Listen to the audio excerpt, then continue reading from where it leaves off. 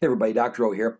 Want to cover a couple of terms that are very important with epidemiology, the study of disease, and that is incidence versus prevalence. So, incidence is the number of people who actually develop a disease during a particular time period. So, I like to say that incidence is how many people get a disease during a given time period. Prevalence is the number of people that actually have it, right? So, it's the people that that already had it prior to this time period and still have it, and the people that acquire it at that time period. So, the way I look at it is real simply incidence, how many people got a disease during whatever time period we're talking about. So you could be talking about cancer in 2019, you could be talking about the flu in January of 2014, it doesn't matter. So whatever the time period is, the incidence is how many people got the disease, the prevalence is how many people have it. So think about like HIV, for example.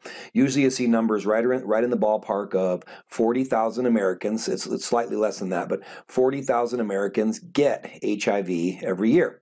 So that means the incidence of HIV infection in 2019 will be, you know, somewhere in the ballpark of 40,000. But think about the prevalence. How many people have HIV in the United States in the year 2019? That's everyone that's got the disease in 2018, 2017, 2016 and back. So think about like I believe it was 1996 when Magic Johnson was infected and he's and he's still alive. So so the prevalence is the new cases plus the old cases. So the prevalence will always be a larger number. All right, so that is incidence versus prevalence. How many people get a disease versus how many people have it. Hope this helps. Have a wonderful day. Be blessed.